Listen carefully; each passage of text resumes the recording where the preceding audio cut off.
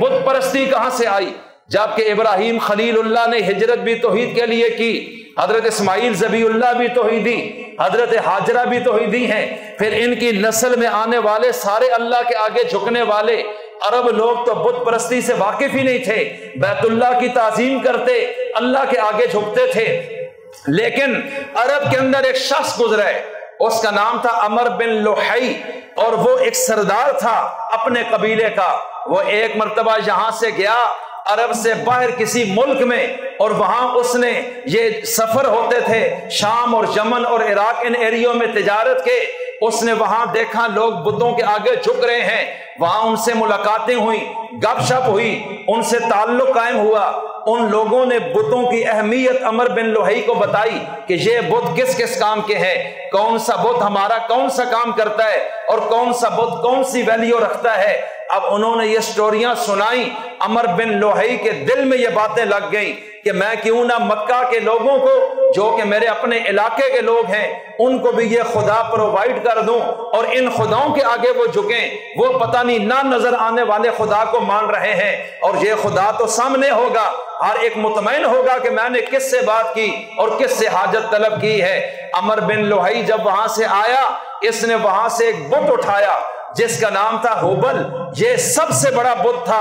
और पहली मर्तबा इसने बैरून से ये बुद्ध लाकर यहाँ मक्का के लोगों के सामने रखा और उनको तकरीर करके समझाया कि ये इतना बड़ा खुदा है जो तुम्हें रिजक भी देगा, औलाद भी देगा, पैसे भी देगा, ज़िंदगी भी बचाएगा, सारे काम तुम्हारे करेगा। उन मुल्कों में सब लोगों के काम ये खुदा कर रहा है।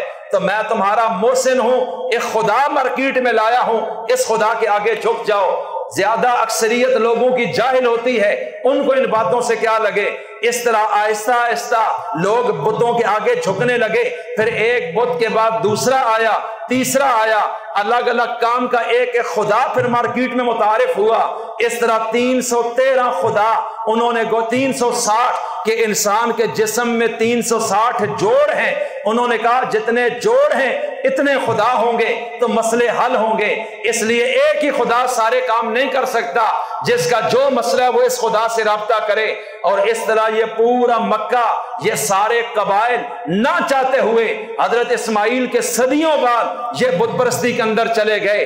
अब इस बुत परस्ती से बैतुल्ला को कौन पाक करे? इन लोगों के अकीदों को कौन दुरुस्त करे? एक अल्लाह का तारुफ कौन करवाए? अल्लाह के आगे झुकाएगा कौन? यहाँ तो कोई भी ऐसा नहीं है। इस पोजीशन में अब यहाँ से ऐसी आवाज़ उठे कि ये बैतुल्ला दुनिया का सेंटर है और ये आवाज़ मशरक, मगरब, शिमाल और जुनूब में पहुँचे और हर शख्स इस तालीम से रोशनास हो। इसके लिए अल्लाह ने आखिरी रसूल को चुना और इनको यहाँ भेजा। अब अगर बैतुल्ला पहले ही गिर जाता तो नबी किस घर की आबादी के लिए यहाँ आवाज़ उठाता? किस घर के रब के आगे लोगों को झुकाता? इसलिए नबी के आने से पहले उस नबी ने जहाँ कदम रखना था, अल्लाह ने उस घर को खुद बचाया। और कुरान करीम में अल्लाह ने इस नबी पर सूरतुल फील नाजिल की है। अलम तरा कैफा फ़ाल रब्बू का भी असहाबिल फील। ये आखिरी दस सूरतों में से दसवीं सूरत है। आपने इसको पढ़ा और सुना होगा, लेकिन इसके तर्जमे में अल्लाह ने इस चीज़ को वाजे किया है। अलम तारा कैफा फ़ाल रबू का भी असहाबिल फील। क्या तूने सुना नहीं? क्या तूने देखा नहीं? क्या तूने पढ़ा नहीं है कि कैसा हशर किया तेरे रब ने उन हाथियों के लश्कर वालों के साथ? अलम यजाल कैदहुम फ़ी तजलील। क्या अल्लाह ने उनके मंसूबों को नकारा नहीं बना दिया? वह अरसला अलैहिम तैरन अबाबील। और अल्लाह ने उन पर भेजे उन परिंदों के झुंड के झुंड और गौल के गौल। हज़ारों की तादाद में अल्लाह ने परिंदे भेज दिए।